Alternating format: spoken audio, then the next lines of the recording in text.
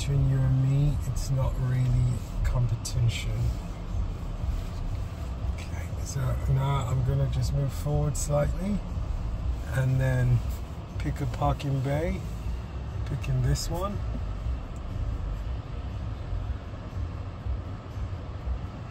And you can watch my hands are off the screen and the car is moving itself.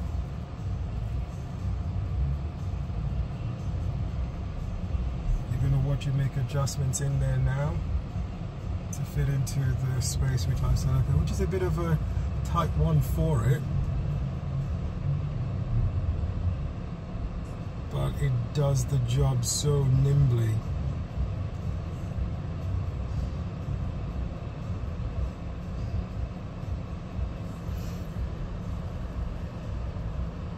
And this is despite the fact that multiple pillars and cones all around it, it's still able to put itself in there beautifully.